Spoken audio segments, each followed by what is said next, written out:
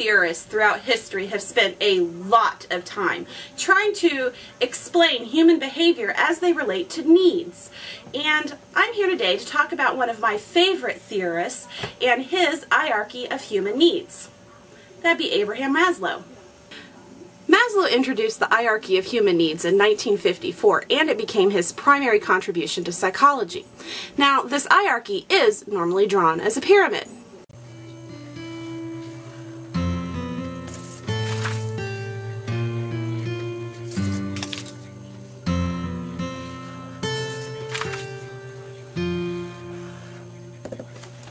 In addition to normally being depicted as a pyramid, Maslow separated this hierarchy into five sections.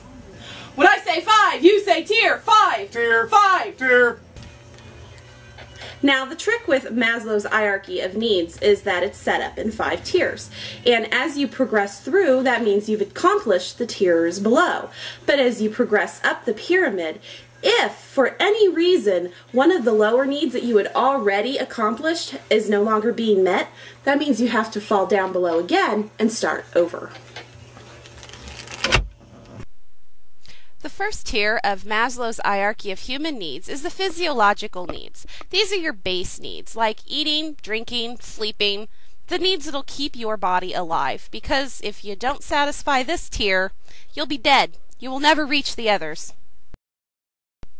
The second tier of the pyramid are feelings of security or the safety need. And this is just a basic feeling of security or to be safe. And this could be in your physical environment, such as not in a dangerous position, or feelings of security with your family and friends and your social status.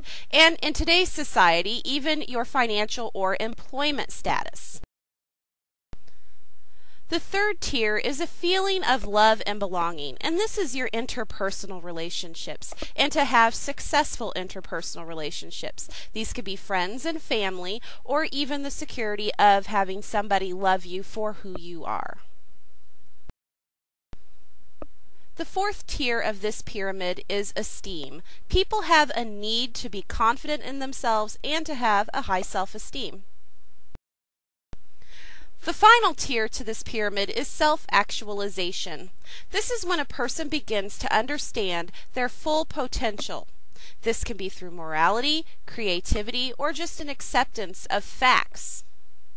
Since Maslow introduced his hierarchy of human needs, other theorists have criticized his theory, including just the order in which he placed the needs.